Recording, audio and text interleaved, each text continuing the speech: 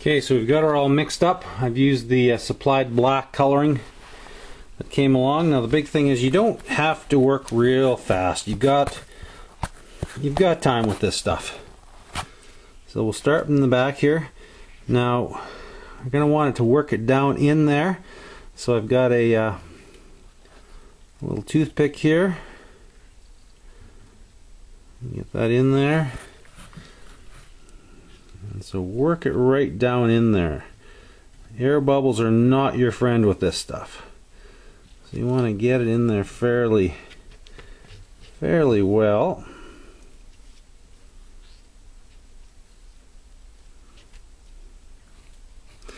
One of the tricks I learned I was working at the gun shop for David is just spritz a little WD-40 in a little puddle for yourself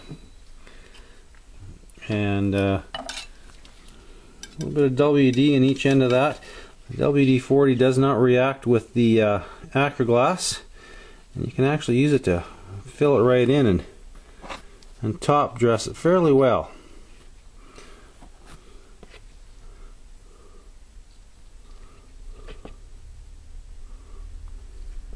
So you can see here why we put the um, the plasticine in. Keeps all that uh, Acraglas from uh, going down inside the uh, action or the uh, stock and just make a little bit less cleanup time. Now this is all going to squeeze out and we'll clean that up after once we get this put the action back in. Well this stuff is sticky and messy.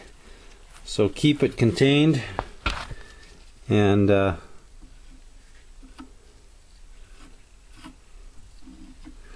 keep it in one spot as best you can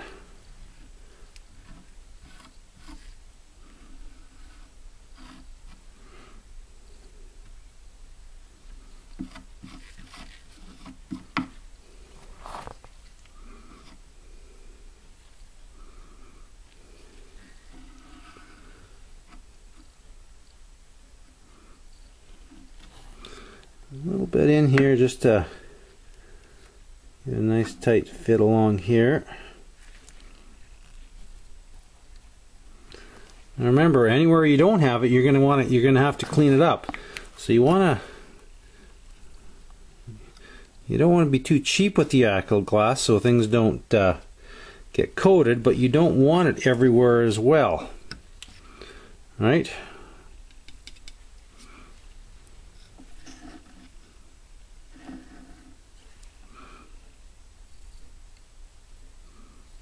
Remember the whole point of this is to have a nice solid surface for your bed for your action to sit up on.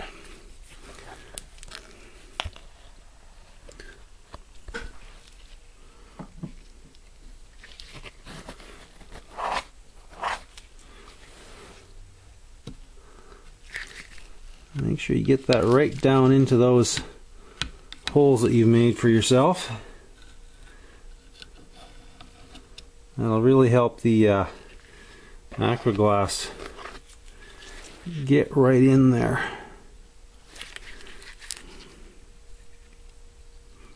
I always leave it slightly proud, a little high.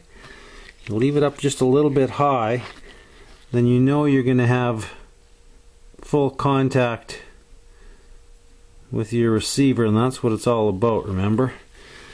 Getting a good contact with your receiver and keeping up the edges nice and square. Okay, that looks about right. Now, a moment of truth, guys.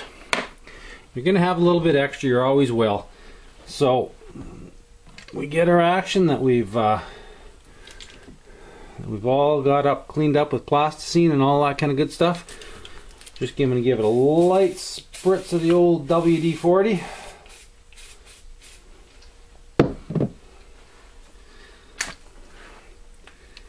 Now we line it up.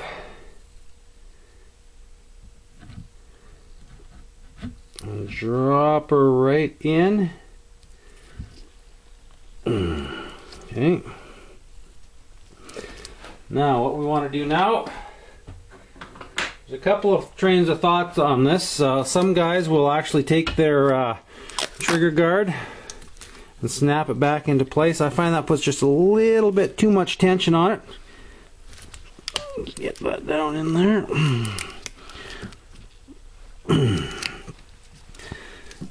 I just tape the heck of it. Take tape the heck out of it.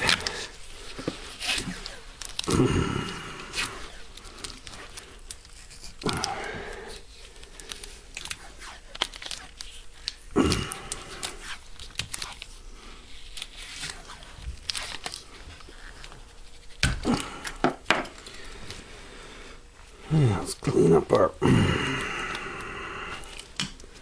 There's now. Let's take our clean. Uh,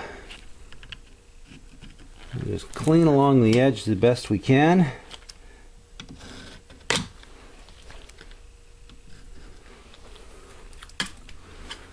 Along the back where it's squeezed out.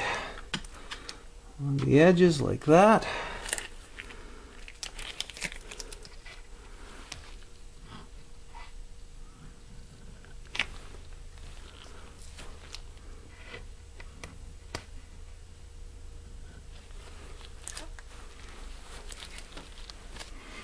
Duct tape will work as well. I just happen to have a whole bunch of black tape that I use at work all the time. We'll pull this out.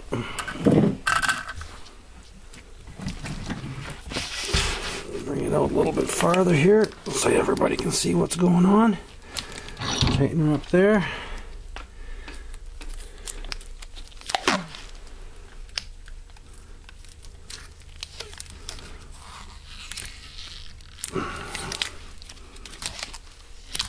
You don't tight in there. You don't want to squeeze all your product out.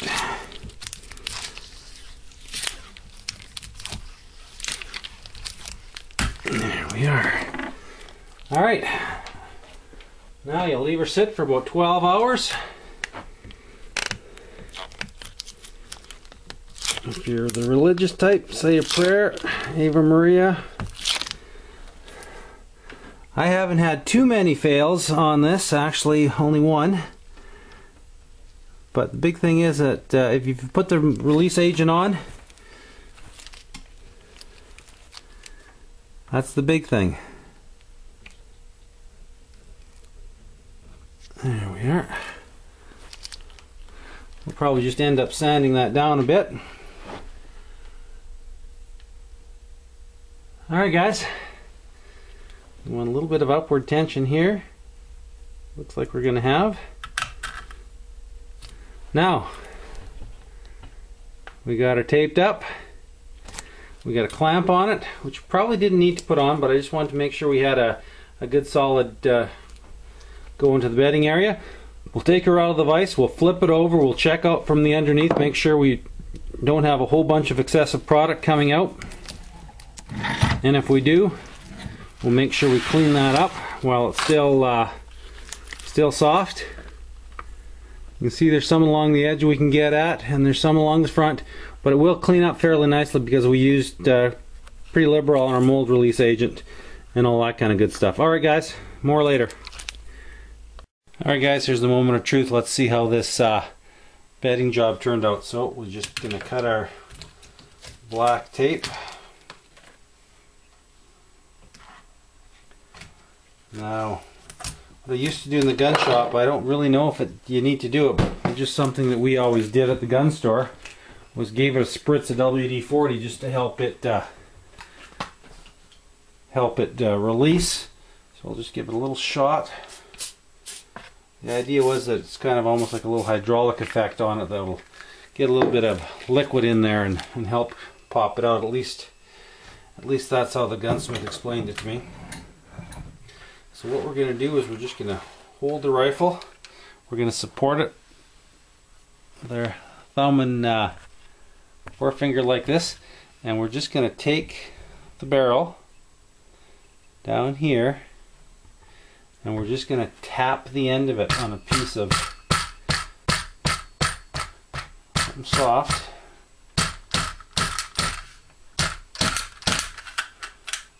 Alright, we got it. Alright, success. Sometimes they uh, give you a lot more of a fight. Here, this looks like it's going to come right off.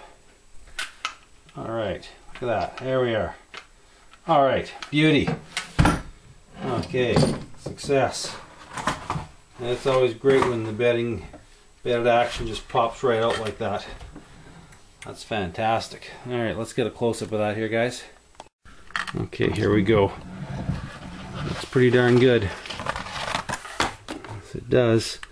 Alright, see right there? That's where you can actually see the machine marks of the metal. That's gone on really nice along through here.